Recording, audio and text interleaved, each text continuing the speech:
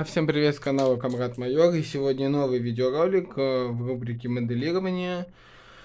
Это МиГ-17 советский истребитель, продолжение серии самолетов МиГ.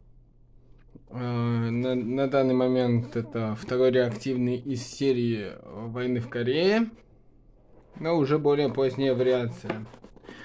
Э, что мы имеем? Опять-таки сделаны по, по лицензии РСК МиГ. МиГ-17 по кодификации фреска.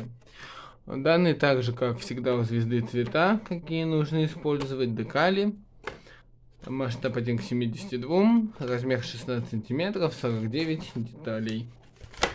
И здесь также самолеты, которые еще присутствуют в похожей вариации. То есть это МиГ-27, 29 и Су-33. Сразу коробку убираем.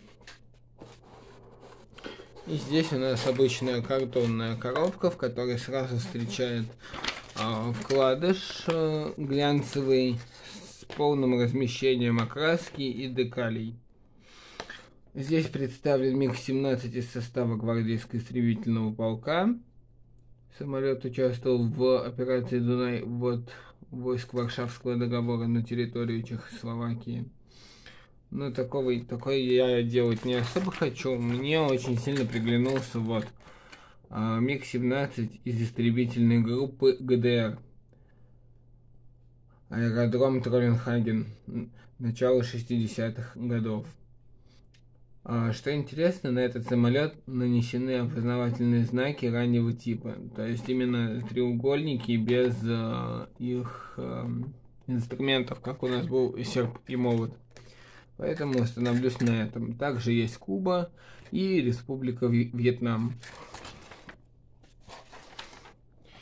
Инструкция представляет из себя очень простую, за счет того, что шагов по сборке здесь очень мало. Советский реактивный истребитель, описание его. А, на основе а, МиГа-17 был построен первый истребитель-перехватчик. А, вооружение которого состояло из четырех управляемых ракет класса воздух-воздух. Открываем, и здесь у нас первый, э, первый опять-таки этап это сборка кабины, сборка хвоста, сборка крыльев носовой части, быстрая стыковка. Также не забываем про вес в 10 грамм, для того, чтобы не перевешивала задняя часть фюзеляжа установка вооружения, а, изготовление шасси, изготовление подвесного вооружения в виде бомб и полная установка данных компонентов. Также остекление фюзеляжа в виде фонаря кабины. Здесь уже идет а, размещение технических надписей, что и, где должно быть. Инструкция довольно проста. Сразу глянем на декали. Вот две части фонаря кабины. Вот они декали, все нумерации. Будем использовать вот эти вот немецкие. Убираем. Аккуратно открываем.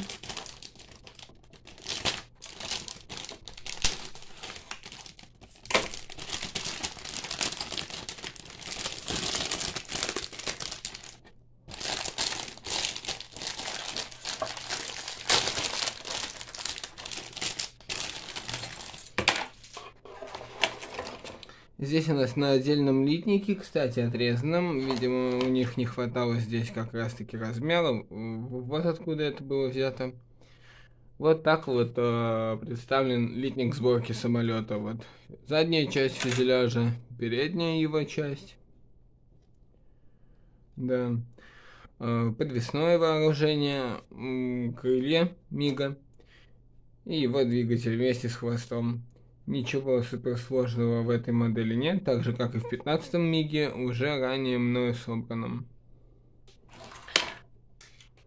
Поэтому больше про ну, сам литник сказать здесь нечего. Размер его будет примерно вот таким. То есть э, довольно для 72 масштаба крупная модель и я думаю, она как раз-таки идеально впишется в мою серию мигов, особенно учитывая то, что они представлены у меня в разных вариациях.